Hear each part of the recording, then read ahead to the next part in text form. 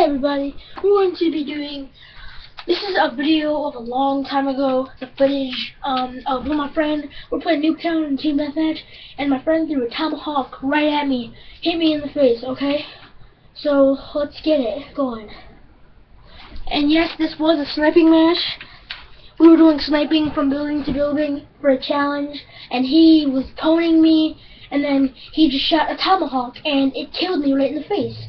So we'll get a clip of that. Here, it's just starting it now.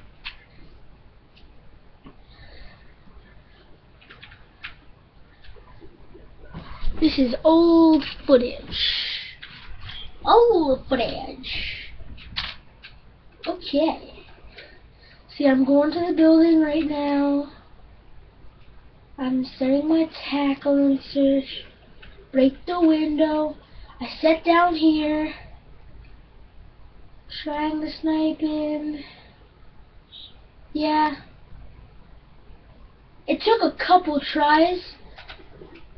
See, I sniped him then, but it takes a couple tries to get him, to get me, because he tried, and he missed a few times.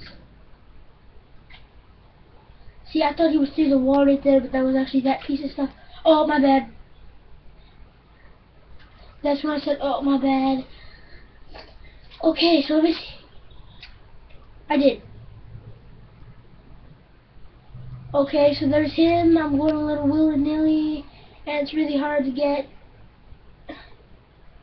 Couldn't get him. Then I sniped him right in the face. Well, that wasn't a face shot, but it takes him a few tries to get me because it was like pretty much like he's level one, so but he's still really good. He knows a lot of stuff about Black Ops 2. But see, he jumps down. I try to snipe him, and I missed. Try to snipe him again, and I miss. And then, and then, ready? Come on, stop getting willy-nilly.